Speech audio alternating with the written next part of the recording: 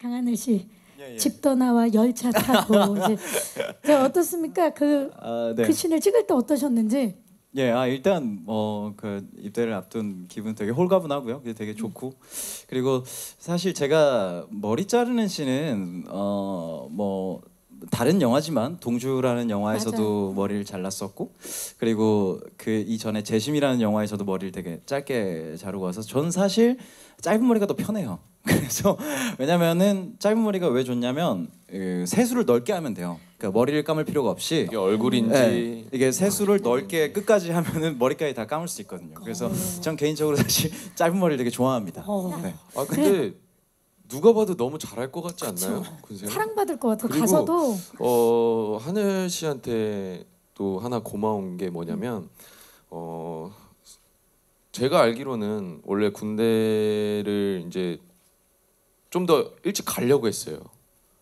근데 제 영화 이제 홍보를 위해서 자기가 조금 더 미뤄서 가겠습니다 해가지고 아이고 되게 되게 사실 어려운 선택이거든요. 그거는. 음. 근데 너무 대단하다고 생각하고 그리고 누가 봐도 군 생활 너무 잘할 것 같고 과연 이 친구는 군대에서는 또 어떤 미담이 나올까? 그래요, 진짜? 저도 제일 궁금한 부분이에요.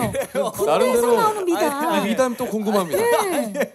아니, 아니. 와. 뭐 PX에서 나오는 이 이등병 미담. 때는 아, 예. 어떻게 했으면 아, 제대하기 전에는 또 어떻게 챙겼을까 이런 화생방할 때 미담들이 얼마나 또 미담이 나오겠어요. 얼마나 쏟아질까. 아 정말 굉장히 무서운 네. 고참으로 나, 나올 겁니다. 저는 마지막을 이렇게 열심히 하겠습니다. 네. 네 열심히 예 열심히는 뭐 늘 하시니까 좋습니다.